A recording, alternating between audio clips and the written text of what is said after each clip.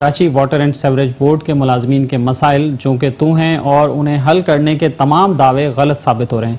मुलाजमीन के मसाइल हल नहीं हो पा रहे हैं, जो पेंशनर्स हैं, उनके पेंशनस जो है उन्हें बर वक्त नहीं मिल रही, जो वाजबात उन्हें मिलने थे, वो उन्हें बर वक्त नहीं मिल पा रहे। और इस हवाले से मुख्तलिफ़ यूनियंस भी अपना किरदार अदा करने की कोशिश करती रही हैं, मुजाहरे भी हुए हैं, एहतजाज भी हुआ है, अफसरान से मुलाकातें भी होती रही हैं। लेकिन क्या वजह है कि मुलाजमीन के मसाइल हल नहीं हो पा रहे हैं? वाटर बोर्ड एक ऐसा इदारा जो अपने रिसोर्स खुद पैदा करता है। Karachi water and sewerage board अपने ज़रा आमदन खुद पैदा करता है और उसके अखराज भी उसी आमदन में पूरे होते रहे हैं। माजी में देखा गया। लेकिन जब जब Karachi water and sewerage board पर मुश्किल आई तो उस वक्त उसने सिंध गवर्नमेंट से अपील की। वजी अला सिंध भी दो बार कराची वाटर बोर्ड को ग्रांट दे चुके हैं, लेकिन उसके बावजूद भी मुलाजमीन का मसला जो का तो है।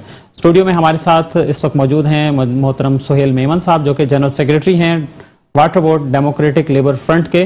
हम उनसे बात करेंगे और इसी दौरान हमें वाटर बोर्ड की यूनियन के कुछ और लीडर्स भी ज्वाइन करेंगे। अगर वो पहुँच गए तो हम उन्हें भी अपने प्रोग्राम में शामिल करेंगे और उनसे भी बात करेंगे। सोहेल मेमन साहब, ये बताइए कि हम पिछले कई प्रोग्राम्स वाटर बोर्ड के हवाले से कर चुके हैं तो उसके बाद की सूरत हाल अब क्या है? क्या हम वहीं खड़े हैं जहाँ से शुरू हुए थे? सूरत हाल में कुछ नए मोड़ पैदा हो गए। क्योंकि आपने इसमें उभारा था, इसका, इस हवाले से, साकिब साहब के इंटरव्यू को भी आपने लिया। और तमाम हकाइक आप बता चुके हैं कि इतना हमारी रिकवरी होती थी। वाटर बोर्ड में तीस तारीख को एक नया मोड़ उन्होंने अपनी खुरदुर्द कह लें आप करप्शन कह लें, या नहली कह लें, उसको छुपाने के लिए तीस तारीख को बोर्ड का एक इजलास हुआ। हमारा बोर्ड होता क्योंकि खुद मुख्तार इदारा तो उसका बोर्ड है। उस बोर्ड में इन्होंने इस इदारे की प्राइवेटाइजेशन का फैसला किया। अच्छा। प्राइवेट पार्टनरशिप का। और ये प्राइवेट पार्टनरशिप का मामला जो है वो 96 से इसी पीपल्स पार्टी की गवर्नमेंट ने शुरू किया था। उस पीपल्स पार्टी की गवर्नमेंट में जो है वो तकरीबन गोल्डन हैंडशेक के ज़रिए साढ़े पाँच हज़ार मुलाजिम निकाला गया। उस हम जबरी फारिग करना इसलिए कहते हैं इन्होंने इतना खौफ हरास फैला दिया था कि निकाल दिए जाएँगे, ये पैसे लोग ले लेंगे। तो फ़ायदा तो फोर्टी बेसिक जो है वो एक्स्ट्रा उनको दी गई। तो उसमें काबिल तरीन अमला जो है हमारा ऑफिसर्स भी थे और लोअर लेवल भी थी, वो चला गया। इनकी तो पूरी कोशिशें तकरीबन 96 से प्राइवेटाइजेशन की लगी पड़ी। और उसकी वजूहत माशा आप एक मतलब एंकर भी हैं। इतनी वाटर बोर्ड में बजट में गड़बड़ हुई है, इतनी रीअप्रोप्रिएट की है। ज़्यादातर तवज्जो ठेकेदारों को दी गई। पहले ये होता था कि छोटी भी लीकेज हो जाती थी या इलाकों में, गलियों में लीकेजेस हो जाती थी तो हमारी लेबर किया करती थी। हमारा स्टाफ करता था। अब वो लीकेजेस को जो है, वो स्टाफ से नहीं करा रहे तो तजर्बेकार अमला नाइन्टी उसमें चला गया। गोल्डन के नाइन्टी सिक्स में। इसमें मामला बड़े गंभीर होते चले गए हमारे वाटर बोर्ड के अंदर। अब तीस तारीख को फिर एक, क्योंकि आपके प्रोग्राम मुस्तकिल और कुछ और चैनल भी हमारे चला रहे हैं प्रोग्राम। तो वो, उन्होंने डाइवर्ट करने की कोशिश की है। आप तमाम एंकर जो जो जो इस वाटर बोर्ड के अंदर मामला को देख रहे हैं और एक हसास इदारा भी, खदमती इदारा भी है। तो ताकि ये जो आप ये खबरें जो जा रही हैं ख़ासतौर पर मेट्रो ने उसको फंड वाले पैसों को उभारा ग्रुप इंश्योरेंस के यानी आप तकरीबन इस वक्त डेढ़ से दो अरब रुपए की खुद बर्द का मामला उठा चुके और शवाद के साथ उठाए। अब पहला तो ये हुआ आपका ये बताइए सुहेल मेमन साहब देखें स्क्रीन पर अभी नाजरीन देख भी रहे हैं कि एक वीडियो स्क्रीन पर चल रही है और ये एक ऐसी वीडियो है जो हमें मौसू हुई है मेट्रो न्यूज़ को, और इस वीडियो में देखा जा सकता है कि एमडी वाटर बोर्ड जनाब असदुल्ला खान साहब बैठे हैं यूनियन के रहनुमा उनके साथ बैठे हैं, और वो यूनियन के रहनुमाओं को कायल करने की कोशिश कर रहे हैं, कुछ डॉक्यूमेंट्स उन्हें दिखा रहे हैं। सुहेल साहब, आप भी इस वीडियो में नज़र आ रहे हैं, ये क्या मीटिंग थी, जरा इसकी थोड़ी तफसील बताएँ। जनाब, ये पिछला रमज़ान, ये रमज़ान में पिछले रमज़ान में लीव इनकेशमेंट हमारा दस रमज़ान तक आ जाता था, दस से पंद्रह। लीव इनकेशमेंट हमारा नहीं आया, और सत्ताईस रमज़ान आ गया यूनियन रबते करते रही, सीबीए ना होने के बराबर थी, क्योंकि सीबीए के दो पार्ट हो गए थे। तो तमाम यूनियन इसमें सीबीए मौजूद है, इस वीडियो में हम दिखा रहे हैं। हम 28 रमज़ान को, जब बहुत हो गई एमडी साहब जो है वो रोजाने की बुनियाद पर मुलाकात कर रहे थे, कि जी मैं आज कर रहा हूँ, कल कर रहा हूँ, कि ग्रांट के लिए मिले। 28 रमज़ान को, पिछले 28 रमज़ान को, ये वाला रमज़ान। एमडी साहब के पास हमें जो है तकरीबन साढ़े तीन बजे रात पहुँचे। साढ़े तीन बजे रात शहरी का टाइम भी होना था। एमडी साहब ने अपने घर में एक एमडी सेक्रेटरीट बना रखा। वो आ गए बैठे।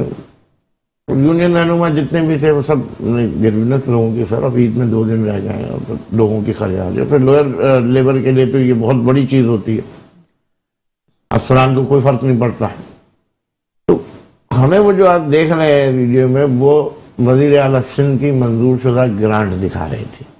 अच्छा। ये मैंने अस्सी करोड़ की ग्रांट आ गई है और मजीद मैंने एक एक, एक अरब रुपए की ग्रांट के लिए दाखिल किया हुआ और इंशाल्लाह वो मैं अभी सुबह उठने के साथ जाऊँगा और मुझे जो है सिर्फ़ फाइनेंस मिनिस्टर से कराना है और उसके बाद सीएम से मैं साइन करा के और तो वहाँ उस वक्त हमने ये बात कही कि सिर्फ़ दो दिन रहते हैं। और बैंक का एक दिन रहता है। अगर तीस रोज़े हो गए तो हम दो दिन मिलेंगे नहीं। होने तो वो तमाम ये जो डॉक्यूमेंट्स हैं वो तहरीरी चीज़ें सीएम के साइन हुई हमें दिखाई। और उसी रात हम जब एमडी हाउस से वापस आया तो हमारा शायद ये सिल्क सेंटर वाला हेड ऑफ़िस में रश लगा हुआ था ठेकेदारों का। अच्छा। फिर दोस्तों ने जो यूनियंस के हैं उनके पास विजुअल मौजूद हैं। और हमारे इमरान जैदी साहब भी मौजूद थे वहाँ। और आपके सेगमेंट के बाद जो है वो साकिब साहब जो ट्रांसफ़र किए गए वो भी मौजूद थे। और ठेकेदारों को अदायगियाँ की जा रही थी चेक की सूरत वो पैसे जो मुलाजमीन के लिए आए थे वो ठेकेदारों को ठेकेदारों को दे दिए मुलाजमीन की फिर ईद हो गई मिले पैसे? बकरा ईद पे जाके वो पैसे मिले। यानी रमज़ान भी गुजर गया वो पैसे नहीं मिले। लोगों की और खास तौर पर जैसे हमारे यहाँ बेलदार हैं, कुली हैं या लोअर स्टाफ है उनकी ईद तो हो ही नहीं सकी, क्योंकि उसी आश्रय पे बैठे रहते थे कि हमारे पैसे आएँगे। अच्छा फिर अलमिया ये रहा कि तनख्वाह भी नहीं आई। जो गवर्नमेंट ने अनाउंस की थी कि ईद से चार रोज कबल तनख्वाह अदा कर दी जाए, वो तनख्वाह भी लोगों को नहीं मिली। आप खुद सोच सकते हैं कि कितना बड़ा ये लोगों पर गुजरी। ये बताइए कि ये जो आपने कहा कि प्राइवेटाइज करने का फैसला किया है मीटिंग में ये इसकी तफसील क्या है आपके पास? जनाब ये तो तकरीबन और ये बात सिर्फ़ सुनी सुनाई बात आप कर रहे हैं सुनाई नहीं है इसका हमने आपको डॉक्यूमेंट्री कुछ चीज़ें दी हैं। तो उस हम काम करेंगे मजीद डॉक्यूमेंट्स हमें चाहिए होंगे फिर हम जाके उसको उसको पूरा एक प्रोग्राम आपको करना पड़ेगा। फिर तरतीब देंगे तो ये 96 में तो ये पूरा मामला तय हो चुका था। और प्राइवेट सेक्टर जा चुका था। पीपल्स पार्टी गवर्नमेंट ने वो जो golden handshake forty basis देके उसके बाद इसको बिल्कुल आखिरी स्टेज पे ले जा रही थी। पीपल्स लेबर यूनियन सीबीए थी और पीपल्स पार्टी की गवर्नमेंट थी। हम भी part of People's Labour Union ही थे। हम part of People's Labour Union थे। हमने ये मामला जब अपने सीबीआई के सदर और जनरल सेक्रेटरी के सामने रखे हाँ कुछ भी नहीं हो रहा है हमने फिर इसके ऊपर भरपूर तरीके से आवाज़ उठाई और लेबर राइट्स कमेटी जो है वो तश्कील दी गई जिसमें केटीसी का मामला चल रहा था उस दौर में। हम्म। और पीटीसीएल की प्राइवेटाइजेशन का चल रहा था के की प्राइवेटाइजेशन का चल रहा था और कुछ बैंक सेक्टर थे तो लेबर राइट्स कमेटी की बुनियाद अपना अब्दुल वहाब बलोच यूबीएल के थे और हबीब जान वो भी यूबीएल से ताल्लुक रखते दीगर बहुत सारे यूनियन उसमें शामिल हुए और हमने सबसे पहला काम वाटर बोर्ड की प्राइवेटाइजेशन को रोकने की कोशिश की। हमने मुजाहरे भी किए प्रेस कॉन्फ्रेंसेस भी की और हमने तमाम तरह हकाइक उस वक्त के प्रिंट मीडिया का दौर था तो लीडिंग आज जिसे कहते हैं तो आपके इन क्वेश्चन से वो मामला थोड़ा रुक गया। उसमें वो जो है बिल्कुल ही तकरीबन रोक दिया गया। मगर उसके पर काम चलता रहा। अच्छा अंदरूनी खाना काम होता रहा।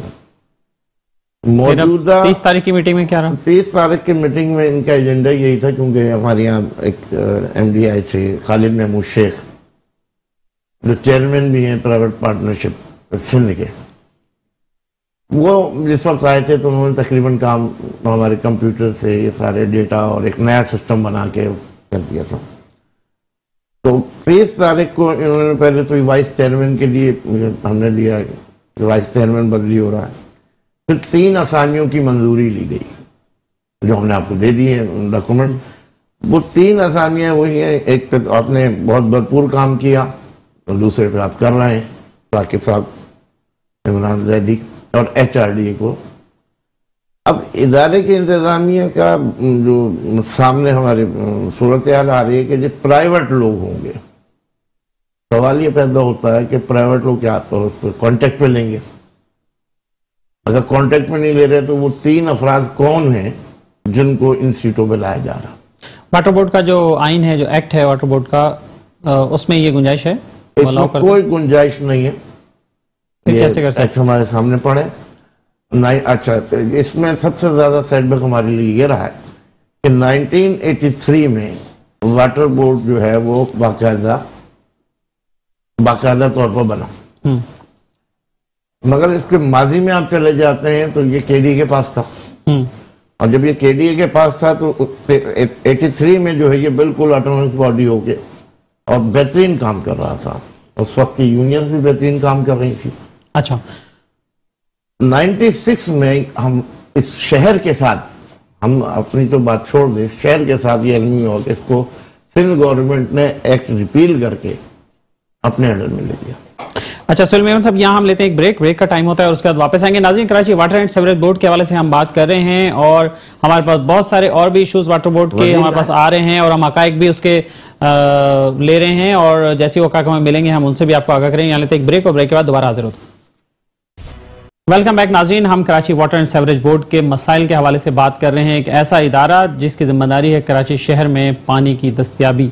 और अगर ऐसे इदारे में ही मनपसंद लोग आ जाएँगे और ऐसे लोग आ जाएँगे कि जिनको इस इदारे की फ़िक्र नहीं होगी, बस सिर्फ़ अपनी ही फ़िक्र होगी तो फिर ये इदारा कैसे काम करेगा? मेरिट जब नहीं होगा तो ये इदारा कराची के शहरियों को कैसे सर्व करेगा? कराची शहर में पानी का बहरान मुस्तकिल रहा है और अब मज़ीद बढ़ने का भी खदशा ज़ाहिर किया जा रहा है और ये कहा जाता है कि मज़ीद ये बहरान बढ़ जाएगा। तो Karachi water and sewerage board जो इदारा है, जिसने इसको कमी को पूरा करना है, उसको देखना है डिस्ट्रीब्यूशन को मैनेज करना है लीकेज को कवर करना है, चोरी को रोकना है रिकवरी को बढ़ाना है तो वो कैसे होगा जब मेरिट पर लोग नहीं बैठेंगे? उन सीटों पर कि जिन सीटों पर मेरिट पर लोगों को होना चाहिए। हमारे साथ मजीद दो और मेहमान भी हैं जिन्होंने हमें अभी ज्वाइन किया है ब्रेक के दौरान। मैं उनका आपसे तारुफ करा दूँ और फिर हम बातचीत का सिलसिला शुरू करेंगे। हमारे साथ मौजूद होंगे जनाब मुनवर रजा साहब, जो कि सदर हैं वाटर बोर्ड के मजदूर यूनियन के, और उसके साथ साथ पाकिस्तान मुस्लिम लीग नून के लेबर विंग सिंध के भी सदर हैं। मुनवर साहब, शुक्रिया आपका। और उनके साथ मौजूद हैं जनाब वज़ीर भमरो साहब, जो कि चेयरमैन है आउट स्टेशन मजदूर यूनियन ये भी वाटर बोर्ड के मजदूर यूनियन इनके चेयरमैन हैं। जनाब शुक्रिया आपका भमरो साहब, आप हमारे साथ शरीक हैं तो हम बातचीत का आगाज़ मुनवर रजा साहब आपसे करेंगे।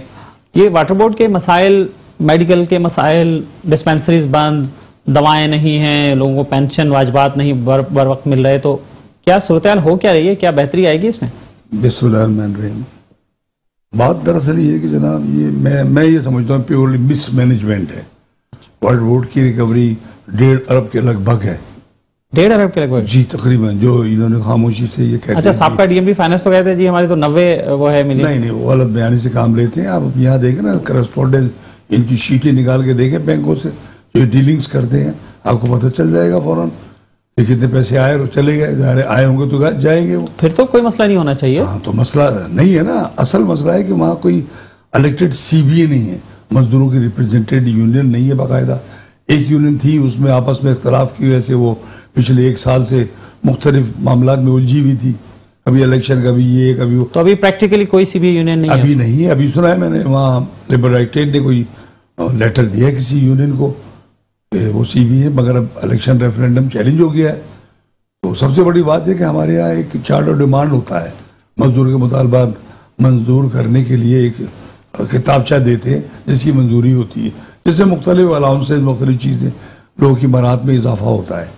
तो अब पिछले कुछ चार साल से वो भी नहीं हुआ। इन्होंने जो चार डिमांड दिया था उस पर निगोसिएशन नहीं हुई। इनके ज़ाती इख्तलाफा की वजह से।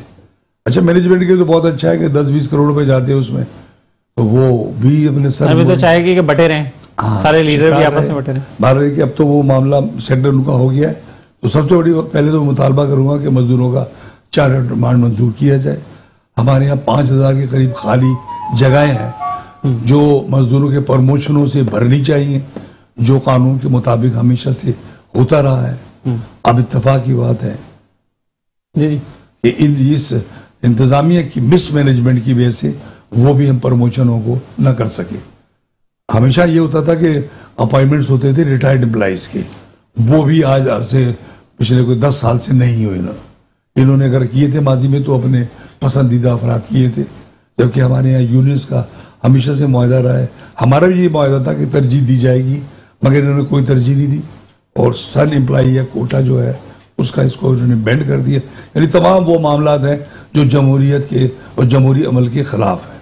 इससे पहले हमारी सी बी थी अलहमदिल्ला हमने ढाई हज़ार अपॉइंटमेंट भी कराए, तकरीबन बीस करोड़ का चार्ट डिमांड भी मंजूर कराया, हर अलाउंसेस में इजाफा करवाया, किलर्स का ग्रेड बढ़वाया, सब इंजीनियर का ग्रेड सोलह करवाया असिस्टेंट का ग्रेड सोलह कराया स्टेनो का ग्रेड सोलह कराया। तमाम चीज़ें हमने की। और वो आइंदा भी इंशाल्लाह हमारा ये प्रोग्राम है कि जैसे ही हमें कोई मौका मिला, इंशाल्लाह अपग्रेडेशन कराएँगे, मजदूरों के बेहतरीन मफाद में उनको ग्रेड दिलवाएँगे। रिटायर्ड एम्प्लॉयज़ के बच्चों का अपॉइंटमेंट कराएँगे। फौरी तौर पर जो सबसे ज़्यादा नीट है। इसलिए कि तीस तीस, चालीस चालीस साल आदमी आंधी तूफ़ान बारिश में काम करता है। एक टेक्निकल डिपार्टमेंट है इसमें हर आदमी काम नहीं कर सकता। ये कराची के मुख्तलि जगहों पर फैला हुआ है, जहाँ बाराड़ी का इलाका या सिंध का इलाका लोकल, वहाँ के सिर्फ़ लोकल आदमी काम कर सकते हैं। हम क्या करते हैं, यहाँ से सिफारिशों में अपॉइंटमेंट करके भेज देते हैं और वो ऑन डेपुटेशन आ जाते हैं। यानी शॉर्टेज बहुत है वहाँ पे स्टाफ की। नहीं आउट स्टेशन पे। चलिए आउट स्टेशन के हवाले से बात करते हैं, वज़ीर भमरो साहब हमारे साथ मौजूद हैं। वज़ीर भमरो साहब, ये बताइए कि आउट स्टेशन के जो एम्प्लॉयज़ हैं, उनके मसाइल क्या हैं? मेडिकल के हवाले से भी खासतौर पर बताइएगा कि डिस्पेंसरीज वगैरह की क्या पोजीशन है। बसमान सर बड़ा अच्छा आपने सवाल किया। आ, मेडिकल के हवाले से ये है कि पहले डिस्पेंसरियाँ वहाँ चल रही थी ऑलरेडी वहाँ डॉक्टर होते थे। तो अब जो है वो ताले लगे हुए हैं बंद पड़ी हुई हैं वहाँ कोई डॉक्टर नहीं है। वहाँ चिलिया की एंबुलेंस थी जो मजदूर यूनियन ने दिलाई थी। और हालेजी की एंबुलेंस थी फ़िल्टर की थी धाबे जी पंप हाउस की थी। अब वहाँ कोई अवेलेबल एंबुलेंस नहीं जो वहाँ से हम पेशेंट लेके यहाँ कराची की तरफ़ आते हैं तो या तो वो रास्ते में ही दम तोड़ जाता है। क्योंकि प्राइवेट गाड़ियों करने में लेबर के पास इतनी पोजीशन नहीं है कि बेचारे पाँच, सात, आठ हज़ार रुपया करके कोई गाड़ी लेके आए। वो मजबूरी से बसों बसों में धक्के खा के आते हैं। और दूसरी बात सर ये कि मेडिकल जो हमें थोड़ी बहुत जो दवाइयाँ वगैरह मिलती थी, वो तो मैं समझता हूँ अरसे दराज से बंद है। पहले ये कहते थे कि मजदूर यूनियन की बड़ी, बहुत सारी यूनियन शिकायतें करते थे कि भाई ये कर रहे हैं, वो कर रहे हैं। लेकिन अलहमदिल्ला हमने जो भी वक्त गुजारा, उसमें तमाम वो मजदूरों की जो मरादें थी, जो फैसिलिटी थी, वो तमाम उनको मिल रही थी। अब दो दो, मेरे ख्याल में चार साल हुए हैं, दो दफ़ा सी बी आई है हमारे मुतहदा के जो हैं वो। तो उन्होंने जो है सर, खा, कोई खातर खा, उन्होंने अपना जो है वो करदार नहीं दिखाया, ना कोई मैनेजमेंट पे उन्होंने प्रेशर डाला कि मजदूरों के मसल, मसाइल हल हों। इस हवाले से मेडिकल की तमाम जो तबाही और बर्बादी है, वो इस उससे हुई है। कि डायरेक्टर को कोई पूछने वाला नहीं है, मेडिकल ऑफिसर को कोई पूछने वाला नहीं है तो वो अपनी बदमाशी करेगा। तो उस हवाले से मेडिकल का बेड़ा घर, के आउट स्टेशन का आदमी, आप, मैं आपको बता रहा हूँ, मैं छठा का आदमी हूँ। जो हमारा रेगुलर निकल रहा है, यहाँ से कराची को पानी होना वाला किंजर झील से मैं वहाँ रहता हूँ। आप यकीन करें, डेढ़ सौ किलोमीटर करके हमें यहाँ आना पड़ता है। और अगर हम डेढ़ सौ किलोमीटर करके यहाँ आकर हम अगर दवाई की पर्चियाँ बनाएँ सात आठ सौ की दवाई मिलती है तो हमें तो फ़ायदा नहीं। पहले पहले पिछले दौर में वहाँ मेडिकल स्टोर होते थे घरों में होता था गोजों में ठट्टा में भी हम लोगों ने करवाया मेडिकल स्टोर मजदूर यूनियन के दौर में। लेकिन वो तो आपके ख्याल में क्या होना चाहिए? वहाँ के मुलाजमीन को क्या फैसिलिटीज़ होनी चाहिए? वहाँ पे क्या सूरत में बेहतरी कैसे आएगी? आपका क्या ख्याल? सर बेहतरी ये आएगी कि वहाँ तो पहली बात तो यहाँ वहाँ के लोकल लोगों को अपॉइंटमेंट करना चाहिए। जैसे कि 2008 में तमाम शहर के लोग अपॉइंटमेंट हमें एतराज़ नहीं है। कि हम कह रहे हैं कि वहाँ लेकिन वहाँ का लोग जो वहाँ लोकल लोग होंगे वही काम करेंगे। पानी में भी वही जाते हैं अंदर पानी घास काटने के लिए वो तजर्बेकार लोग हैं वही पानी। वैसे भी ये तो गवर्नमेंट का रूल है ना कि लोअर ग्रेड के जितनी पोस्ट होती है वो लोकल सर नहीं दो हज़ार आठ में उन्होंने दी नहीं। पहले होती रही पहले होती रही लेकिन दो हज़ार आठ में जो अपॉइंटमेंट हुई वो नहीं हुई उस तरह। और सारे डिपुटेशन पे जैसे हमारे सदर ने कहा कि डिपुटेशन पे सारे लोग कराची पे आ गए। तो तमाम डिपुटेशन पे चल रहे हैं अब वहाँ काफ़ी स्टेशन ऐसी हैं कि आप यकीन करें आदमी नहीं है। हमारे पास सिक्योरिटी नहीं है। वहाँ बंगले पे चौकीदार नहीं है। जो लेबोरेटरी सिंध गवर्नमेंट ने करोड़ों रुपए खर्च करके बनाई पानी टेस्ट के लिए यहाँ चिलिया पे उस पर आप यकीन करें चौकीदार नहीं है। अच्छा हमारे साथ एक कॉलर लाइन पर हैं। लोग जो देख रहे हैं नाजरीन उनमें से एक साहब है उन्होंने कॉल किया उनसे पूछते हैं कि वो क्या कहते हैं। असला जी कौन है हमारे साथ लाइन पर? जी मैं अब retired water board MD Abdul Khaliq Qazi साहब की बहू बात कर रही हूँ। अच्छा अच्छा जी मोहतरमा, बताइए, क्या कहना चाह रही हैं देखिए, मैं ये कहना चाहती हूँ कि हमारे, मेरे जो ससुर थे, वो जो लोग इन्हें जानते हैं ए के काजी साहब को, वो इस बात को अच्छी तरह जानते हैं कि माशाल्लाह उनका ये रिकॉर्ड था कि वो एक रुपया भी रिश्वत नहीं लिया करते थे और वो मेरिट पे अपॉइंट हुए थे।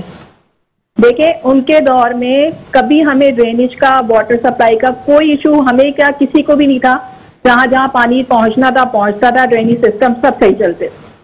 अब हमारा मसला ये हुआ है कि हमारे यहाँ पॉलिटिशियंस ने, चाहे वो पीपल्स पार्टी हो, चाहे वो एम हो, उन्होंने भर्ती ही उन लोगों को किया है जो बेसिकली मेरिट पे है ही नहीं। तो जब आप मेरिट पे नहीं रखेंगे लोगों को तो वो काम भी नहीं करेंगे। आप देखें ना, आप अगर आप चोरों डाकुओं को भर्ती करेंगे तो उनका तो काम ही लूटना है। हमारे अब्बा को आज तक लोग इतनी इज़्ज़त से याद करते हैं और उनकी इतनी रिस्पेक्ट है, क्योंकि उन्होंने हलाल खाया और हलाल ही खिलाया अपने बच्चों को। और काम करके गए शहर के। आज हम ही उनकी औलादे इस मसले में पड़े हुए हैं कि हमारा ड्रेनेज सिस्टम पे इंतहा खराब हुआ हुआ है और हमारे घर में पानी भर जाता है गटर का। मतलब है, और हम सारे टैक्स दे रहे हैं, सारे बिल दे रहे हैं, और अभी भी हलाल खा रहे हैं, अल्हम्दुलिल्लाह रब्बिल आलमीन। लेकिन मैं कहती हूँ कि खुदा के लिए अल्लाह के बंदे बनो और रसूल वसल्लम की उम्मती बनो। किसी पॉलिटिशियन के बंदे मत बनो। ये तुम लोगों को सबको जहन्नुम में ले जाएँगे और कुछ नहीं देंगे। और मेरिट पे करो भर्ती लोगों। बिल्कुल सही है। मेरिट पे लोग बिल्कुल बिल्कुल आपकी बात सही है और बहुत शुक्रिया आपका कॉल करने का और हमारे प्रोग्राम में शिरकत करने का। बिल्कुल बात सही है कि मेरिट पर चीज़ें जब हों तो ज़ाहिर है उसमें बेहतरी आती ही आती है। तो मुनवर रजा साहब आप क्या कहना चाहेंगे इस हवाले से? और आगे खातून भी बात कर रही थी।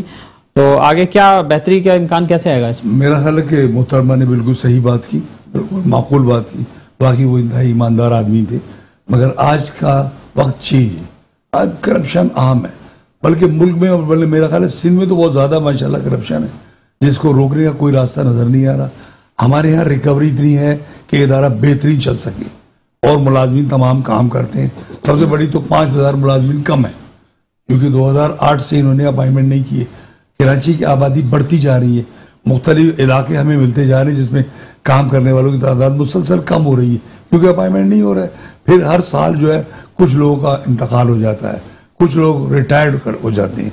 जैसा कि अभी मेरे साथी ने कहा अब घरों में जो रहने वाला आदमी है अगर उसका इंतकाल होगा तो मेरा अपना ख्याल है रिटायर होगा वहीं करीबी आदमी ठीक है बस लास्ट कमेंट क्या होगा आखिरी बात। मेरा कहना यह कि सबसे बड़ी बात तो एक अहम तरीन इशू है कि जो लोग रिटायर हो जाते हैं या हाजिर सर्विस जो लोग हैं उनका उनके वाजबात उनका फंड नहीं मिल रहा। ठीक है। जबकि एमडी वाटर बोर्ड अगर चाहे तो अरेंज करके वो दे सकते ठीक है ठीक है। सोहेल मेमन साहब आखिरी बात आप क्या कहना चाहेंगे? जनाब असल में मामला ये है कि वाटर बोर्ड और हमने आपको कहा कि ये बिल्कुल डाइवर्ट कर दिया है प्राइवेट सेक्टर वाली कहानी चला दी है। और अभी परसों जो है एक अफसर के ऊपर छापा भी पड़ा। तो सूरत हाल ये बन गई है कि ये सारी जो आप खास तौर पर मेट्रो ने अच्छे खासे प्रोग्राम किए और वाटर बोर्ड के मुलाजमिन के लिए और आपकी बड़ी इसमें एफर्ट रही। तो अब इस वक्त जो है वाटर बोर्ड में वो अफसरान चाह रहे हैं कि उनकी करप्शन या उनके जितने भी नाहल इंतजामिया जैसे आप कह रहे हैं की पर्दापोशी पर डालने के लिए अब ये अगला बोर्ड का इजलास बुला लिया है जिसपे हमें ये खदशा है। और खर्चा ही नहीं, बल्कि यकीन है कि ये फौरी तौर पर जो है वो अपने तमाम करोड़ों अरबों रुपए की करप्शन ऐसी छुप सकती है। इसको प्राइवेट सेक्टर में दे दें। ठीक है, सुहेल मेमन साहब, बहुत शुक्रिया आपका और मवरजा साहब, आपका शुक्रिया और भंवर साहब, आपका भी शुक्रिया। और नाजिन, Karachi water and sewerage board के हवाले से हमें बहुत सारी मालूम मौसू हो रही हैं, बहुत सारे इशूज़ पे हम काम कर रहे हैं, हमारी तहकीकती टीम उस पर लगी हुई है। कुछ पेपर्स हमारे पास दस्तियाब हो गए हैं और कुछ डॉक्यूमेंट्स का हमें इंतज़ार है।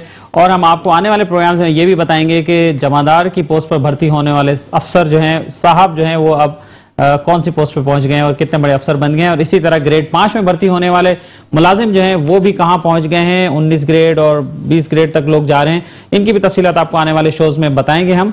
यहाँ लेते हैं एक ब्रेक और ब्रेक के बाद आपको बताएँगे कि Muslim League Functional cantonment boards में कौन से उम्मीदवार ला रही है और वो उम्मीदवार क्या कहते हैं।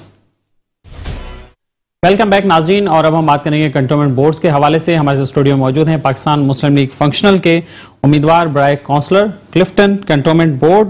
Ward number है इनका ज़ीरो एट और जनाब मोहम्मद जमील खान साहब हमारे साथ मौजूद हैं। असल जमील साहब। वालेकुम बहुत शुक्रिया आपने हमें ज्वाइन किया।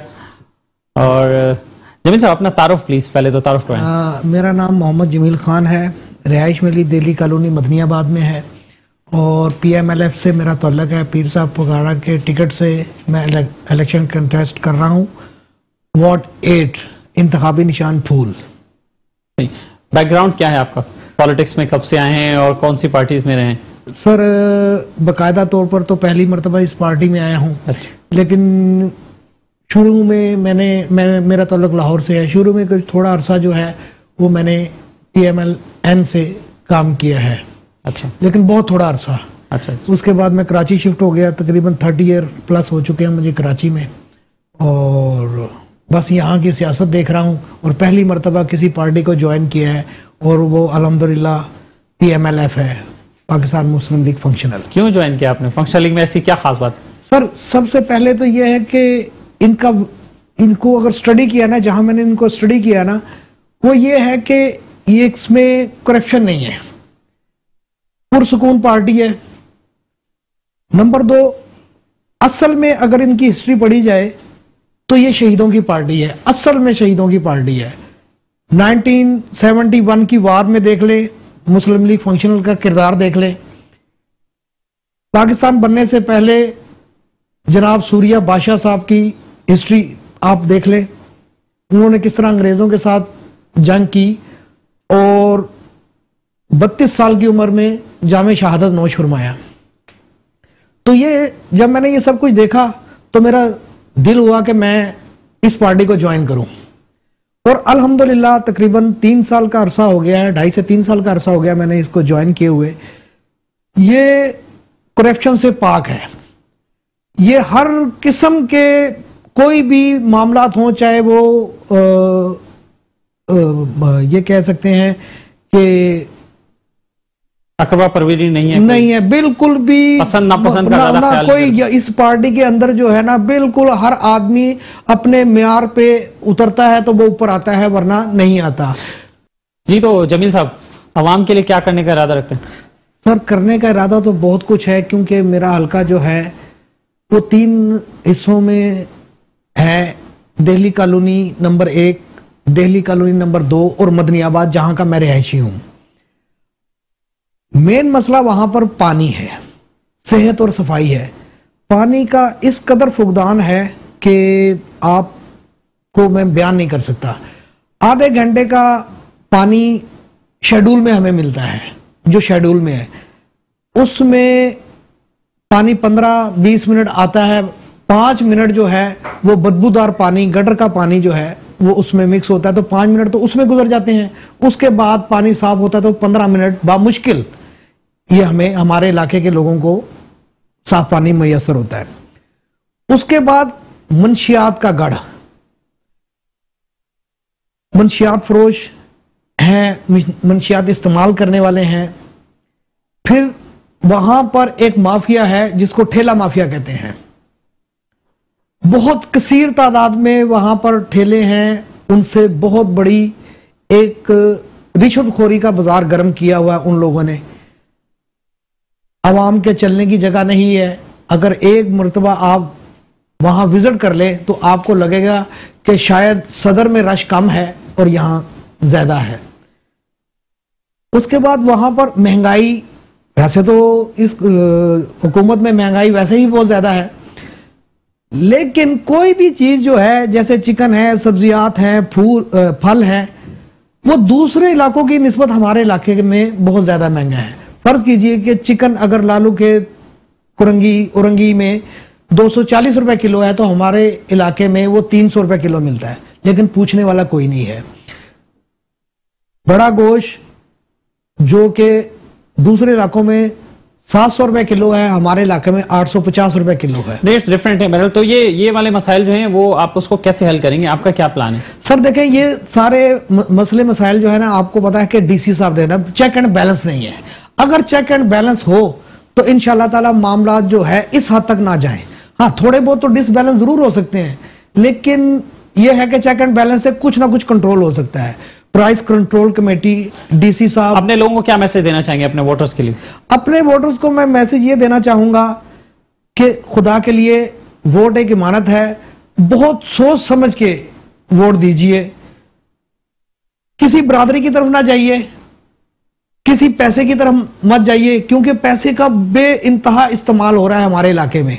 मैं अपनी पॉकेट से इलेक्शन लड़ रहा हूँ लेकिन दूसरी पार्टियाँ बेतहा पैसा लगा रही हैं। तो खुदा के लिए किसी की जात से मुतासर ना हो। आपके इलाके के लिए सिंसियर कौन है? उसके लिए आप ठीक है बहुत शुक्रिया आपका। मोहम्मद जमील खान साहब आप हमारे साथ मौजूद रहे हैं और नाजीन आपने गुफ्तु सुनी। मुस्लिम लीग फंक्शनल के उम्मीदवार मोहम्मद जमील खान साहब की। और प्रोग्राम का वक्त खत्म हुआ। चाहता है अपने मेजबान अख्तर शाह रिंद को आज के प्रोग्राम से इजाज़त दीजिए। अपना ख्याल रखिएगा। अल्लाह हाफ़